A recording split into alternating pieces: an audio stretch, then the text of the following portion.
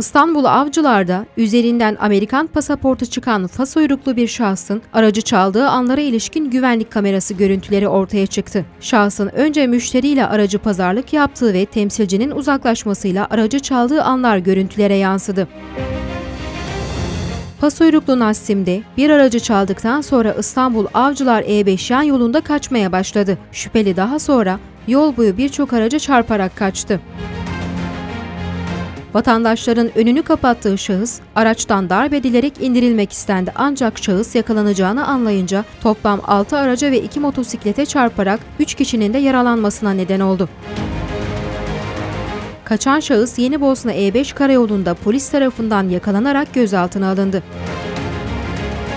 Ağır yaralı olarak hastanede tedavisi devam eden Yıldıray Erol, burada yapılan müdahalelere rağmen kurtarılamayarak hayatını kaybetti. Diğer 3 yaralının ise tedavilerinin devam ettiği öğrenildi.